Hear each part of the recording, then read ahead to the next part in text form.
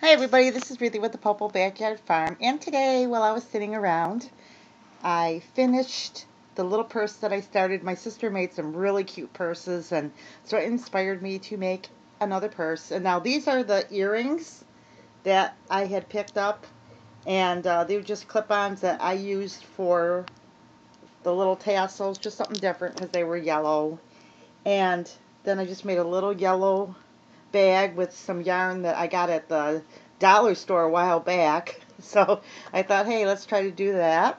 And then I just did a, um, basically I just crocheted a square with um, just a little pattern and then I just zipped it up and uh, made a little border, made a handle, and then I scooped the, with just a chain, the handle through the sides.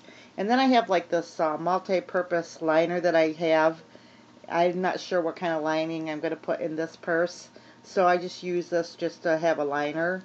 So I just put that in there, but made a cute little bag. And um, a lot of times what I do with these little bags, bags is I just use them to put like little craft things in.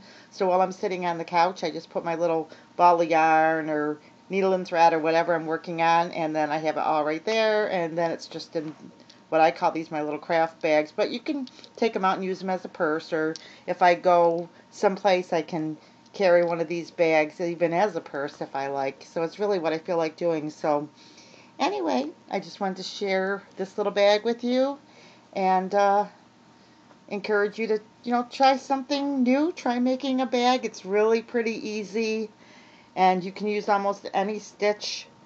And um, they're fun. They're fun to make and um, you can use them as purses or you can just use them to put little things in to hold things for you when you're you know traveling or you know just running around. You can throw in uh, even if you go to the gym you can throw a couple little things in you know just cute little bags.